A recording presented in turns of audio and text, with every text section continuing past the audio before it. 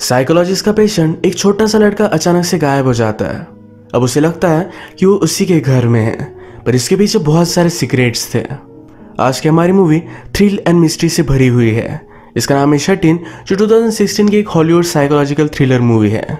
Actual में क्या है, ये मिस्ट्री जानने के लिए इस वीडियो को अंत तक ज़रूर देखते रहिए। अगर आपको वीडियो अच्छा लगता है तो प्लीज़ इसे लाइक और कमेंट ज़रूर कर दीजिएगा। तो बिना किसी तरीके एक्सप्लेनेशन स्टार्ट करते हैं। मूवी स्टार्ट होने पर हम देखते हैं मैरी और उसके हस्बैंड ये दोनों डिस्कस कर रहे थे। एक्चुअल में अपने बेटे स्टीफन को पढ़ाई के लिए कहीं दूर भेजने वाले हैं। ये अभी भी सोच रहे हैं।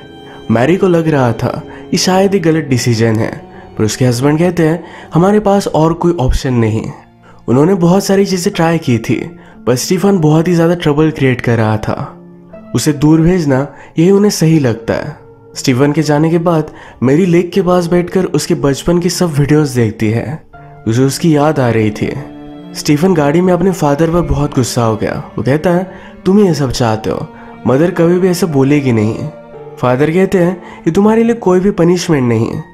हम दोनों सिर्फ़ तुम्हारा भला ही चाहते हैं। स्टीफन डिस्टर्ब हो चुका था। फादर उसे संभालने की कोशिश करते हैं, पर इनकी फाइट में इन दोनों का एक्सीडेंट हो गया। फादर की इसमें डेथ हो गई। स्टीफन पूरी तरीके से पैरालाइज हो चुका है। अब थोड़े मंथ्स गुजर गए, पर स्टीफन में कोई भी सुधार नहीं हुआ।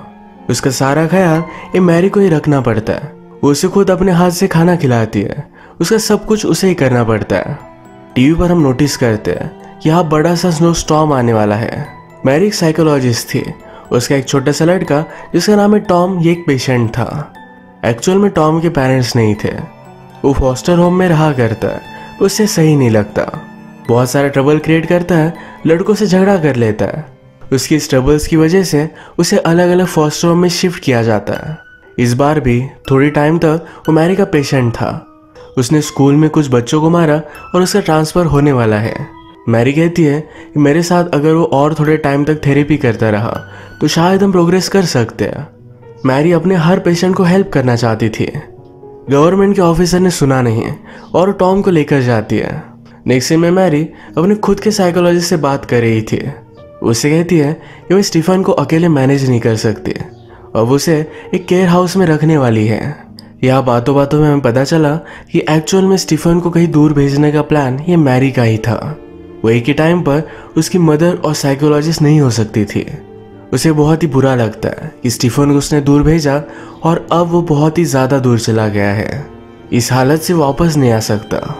रात में जब वो स्टीफन को बात देती है तो पानी में डुबाकर उसने उसे मारने की कोशिश की, पर ये सिर्फ़ उसका एक ड्रीम था। वो इस ड्रीम से उठी, उसे बाहर कुछ आवाज़ आ रही थी। उसे लगा कि उसके गराज में कोई घुस आया है।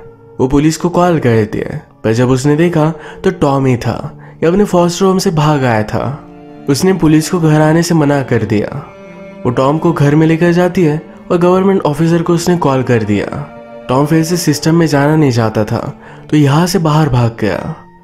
मैरी ने उसे ढूँढने की बहुत कोशिश की, पर ढूंढ नहीं पाई। अगली सुबह उसके घर पर पुलिस आए। वो कहते हैं, इतने टाइम तक तो वो स्नो में था। अब तक शायद उसकी डेथ हो गई होगी। मैरी टॉम के लिए बहुत वरीड थी। आज रात फिर से उसकी नींद खुल गई। वो बाहर जाकर देखती है तो बहुत सारे रैकुन्स का आवाज़ था। वो जल्दी से भागकर घर में आ रही थी। तभी एक हाथ ने दरवाज़ा बंद होने से रोक लिया। ये हाथ व्हीलचेयर पर स्टीफन का था। ये भी उसका एक सपना ही है। ये सब के पीछे का रीजन आपको आगे पता चलेगा। नेक्स्ट डे मैरी अपने और एक पेशेंट को ट्रीट कर रही थी। वो भी टॉम के बारे में बात करता है। कहता है, अब तो उसकी डेथ हो गई होगी। बाहर मैरी इस पेशेंट के फादर से मिली। फादर का नाम था डग डग ने कहा, यहाँ अब बड़ा स्टॉम आने वाला है। तुम्हें यहाँ रहना नहीं चाहिए। मैरी ने कहा, मेरा सन पैरालाइज्ड है। तो मैं यही रहना पड़ेगा। डग मैरी को डेट के लिए पूछता है। मैरी ने कहा कि अभी अभी मेरे हस्बैंड की डेथ हुई है। ये सुनकर डग को बहुत बुरा लगा। वो यहाँ उस पर गुस्सा हो गई थी। आज रात मैरी ने टॉम को अपने बेडरूम में देखा। उसके पास आकर उसे शांत रहने के लिए कहता है। वो आज रात रियलाइज़ करती है कि ये सिर्फ़ एक ड्रीम था। वो इन ड्रीम से बहुत ही ज़्यादा डिस्टर्ब हो गई। वो अपने थेरेपिस्ट को कॉल करती है। कहती है, वो सब कुछ बहुत ही रियल लग रहा था। थेरेपिस्ट कहता है, आजकल तुम बहुत ही स्ट्रेस में हो। इसी वजह से ये सब चीज़ें इमेजिन कर रही हो। मैरी को लग रहा था कि शायद टॉम की डेथ हो चुकी है। उसका घोष रात में उसे देखने के लिए आया था। उसका साइकोलॉजिस्ट कहता है, शायद तुम्हारी नींद डिस्टर्ब हो रही है। तो इसी वजह से ये तुम इमेजिन कर सकते हो।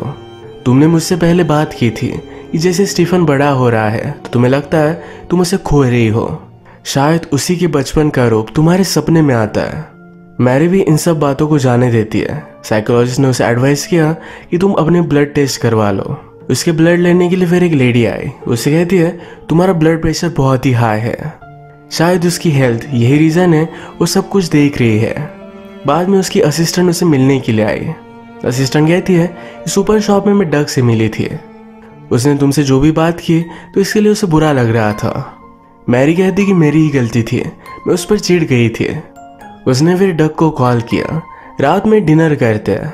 ये दोनों डिस्कस करते हैं कि जिस तरीके से बच्चे बड़े होते हैं तो लगता है कि वो अलग ही पर्सन है। यह हमें पता चलता है कि मैरी एक्चुअली स्टीफन की स्टेप मदर है। वो बहुत ही छोटा था, तब उसकी मदर की डेथ हो गई थी। बचपन से मैरी ने उसे बड़ा किया है। वो जब आधी रात में उठी तो उसे स्टीफन कहीं भी मिल नहीं रहा था। लॉन्ड्री के हॉल से कुछ आवाज़ आता है तो उसे देखती है तो उसमें से एक हाथ उसे पकड़ लेता है। वो अपने आप को छुड़ाने की बहुत कोशिश करती है और यही करते करते सो गई थी। सुबह उसे लगा कि शायद ये सब उसका सपना था। स्टीफन अपने बेड में है। वो जब उसके पास आए तो उसके गाल पर कुछ मार्क्स है तो और भी ज़्यादा डिस्टर्ब हो जाती है। साइकोलॉजिस्ट ने कहा, तुम्हारी रिपोर्ट आने दो, फिर हम बात करेंगे। टीवी पर न्यूज़ आती है कि टॉम की डेथ हो चुकी है। उसे बहुत बुरा लगा। रात में अपने बेसमेंट में कुछ चीज़ें जब वो रख रही थी तो ऊपर डग आ गया। उसे कहता है, आज रात स्टॉम आने वाला है। अगर तुम चाहो तो मेरे साथ चल सकती हो। मैरी उसे मना कर देती है। डग ने कहा कि टॉम की डेथ नहीं हुई। उन्हें जो लड़का मिला था, वो कोई और था। मैरी को सुनकर अच्छा लगा। स्टॉम के लिए सब कुछ वो रेडी कर रही थी। तो डॉग को यहाँ से जाने के लिए कहती है। रात में अपने थेरेपिस्ट से फिर से उसने बात की। थेरेपिस्ट उस पर बहुत ही गुस्सा था। वो कहता है, तुम तुम्हारे मेडिसिन को मिक्स कर रही हो। अगर तुम्हें नींद की गोलियों की ज़रूरत थी तो मुझे बता देती। स्टीफन की गोलियाँ लेने की क्या ज़रूरत थी? तुमने अपनी और स्टीफन दोनों की जान खतरे में डाली। मैरी ने ऐसा कुछ भी नहीं किया था। अब वो इसके बारे में बात नहीं करना चाहती थी और वहाँ से चली जाती है। उससे उसका वीडियो कॉल ऑन रह गया है। बेसमेंट से उसे कुछ आवाज़ आई। ये वो देखने के लिए गई तो उसके पीछे टॉम था।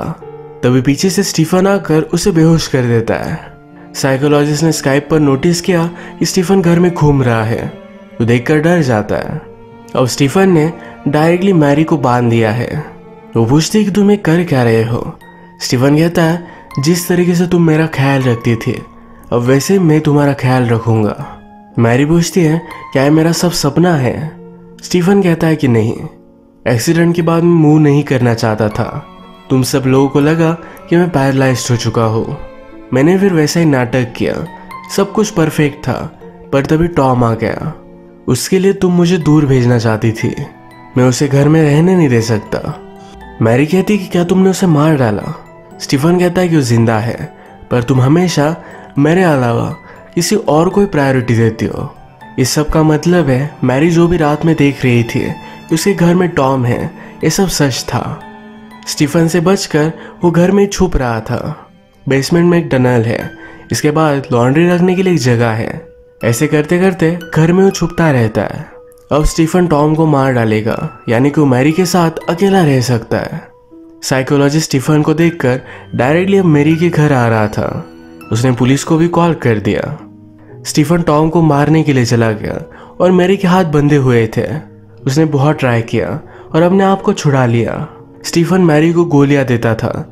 तो इसी वजह से रात में वो बेहोश हो जाती थी। उसे अजीब से सपने आते थे। मैरी बेसमेंट में आई। स्टीफन ने टॉम को बाँध दिया है उसे मारने के लिए अब वो रेडी हो रहा था। मैरी कहती है कि प्लीज़ ऐसा कुछ भी मत करो। स्टीफन कहता है, मुझे तुम टॉम के साथ रिप्लेस कर रही हो। मैं ऐसा होने नहीं दे सकता। मैरी उसे समझाती है, तुम्हारे साथ जो भी हुआ, वो सिर्फ़ एक एक्सीडेंट था। स्टीफन कहता है कि वो कोई भी एक्सीडेंट नहीं था। मैं तुमसे दूर ना जाओ इसलिए मैं कुछ भी कर सकता था। उसे लगता है उसने जानबूझकर अपने फादर को मार दिया। एक्सीडेंट के बाद उसे मेंटल प्रॉब्लम आ चुका है। मैरी ज़ोर से स्टीफन को मारती है। टॉम को लेकर बेसमेंट बंद कर कर ऊपर आ गए। टॉम बहुत ही डर चुका था तो क्लोजेट में छुप जाता है। मैरी बाहर जाकर ऐसा दिखाती है जैसे वो भाग चुकी है, पर वो फिर से घर में अंदर आ गई। स्टीफन ने बेसमेंट का दरवाज़ा तोड़ दिया। पूरे घर में उन्हें ढूंढ रहा था। उसने बाहर जाकर देखा तो मैरी के स्टेप्स उसे दिखे, पर वो बहुत ही स्मार्ट है। वो समझ गया, मैरी अभी भी घर में ही है। वो हर जगह पर ढूंढ रहा था, तभी साइकोलॉजिस्ट वहाँ पर पहुँच जाता है। अचानक से स्टीफन उसके सामने आकर चाकू से उस पर वार कर देता है। वो कहता है, तुमने उसे कहा था कि मुझे दूर भेजना है। वो मुझसे प्यार करती है। हम दोनों को कोई भी जुदा नहीं कर सकता। तो इसके बाद स्टीफन सारे घर को लॉक कर रहा था। ऊपर खिड़कियाँ बंद करने के लिए गया। तभी मैरी बाहर जाकर देखती है तो डग की बॉडी पड़ी हुई है। डग मैरी को डेट कर रहा था। स्टीफन को अच्छा नहीं लगा तो इसी वजह से उसने उसे भी मार डाला। मैरी ने साइकोलॉजिस्ट को जख्मी देखा। साइकोलॉजिस्ट कहता है, उसे जो भी लगता है, इसे तुम हाँ कहो। इसी से उसे तुम कंट्रोल कर सकते हो। जल्दी से मैरी टॉम को किचन में लेकर जाती है। वहाँ की विंडो से उसे बाहर निकाल दिया। जल्दी से स्टीफन वहाँ पर पहुँच गया। वो टॉम को मारने वाला था, मैरी उसे रोक लेती है। कहती है, अब वो दूर चला जा चुका है। अब सिर्फ़ हम दोनों ही रहेंगे, हमेशा के लिए। वो मैरी को भी हर्ट करता, तभी टॉम ने एक डिस्ट्रैक्शन क्रिएट किया। मैरी एक पैन से स्टीफन को घायल कर देती है। टॉम और मैरी फिर जल्दी से इस घर से बाहर निकल गए। स्टीफन अभी भी होश में था तो उनके पीछे भागता है। ये भागते भागते लेक की बोट के पास जा रहे थे। मैरी पीछे थी तो स्टीफन उस पर वार कर देता है। टॉम को मारने के लिए वो आगे चला गया। वो टॉम को पानी में डुबा रहा था। भागते भागते मैरी टॉम को बचाने के लिए आई। स्टीफन का ये हैमर लेकर उसे वो मार डालती है। मैरी तो स्टीफन को उसके एक्सीडेंट में लॉस्ट कर चुकी थी। जो स्टीफन लौट कर आया, वो स्टेबल नहीं था। वो टॉम को मार डालता तो उसके पास और कोई भी ऑप्शन नहीं था। हम देखते हैं मूवी में कुछ टाइम गुजर चुका है। मैरी टॉम को ऑफिशियली अडॉप्ट कर लेती है। ये दोनों अलग सिटी में चले गए।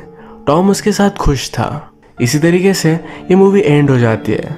अगर आपको वीडियो अच्छा लगा तो प्लीज़ इसे लाइक कर दीजिएगा। मैं बहुत सारी मूवीज़ लेकर आता रहता हूँ तो प्लीज़ इस चैनल को सब्सक्राइब कर दीजिए और बेल नोटिफिकेशन आइकन दबाने मत भूलिएगा। हम फिर से मिलेंगे और एक न्यू मूवी के साथ। तब तक के लिए थैंक यू और आप अपने आप का ख्याल रखिए।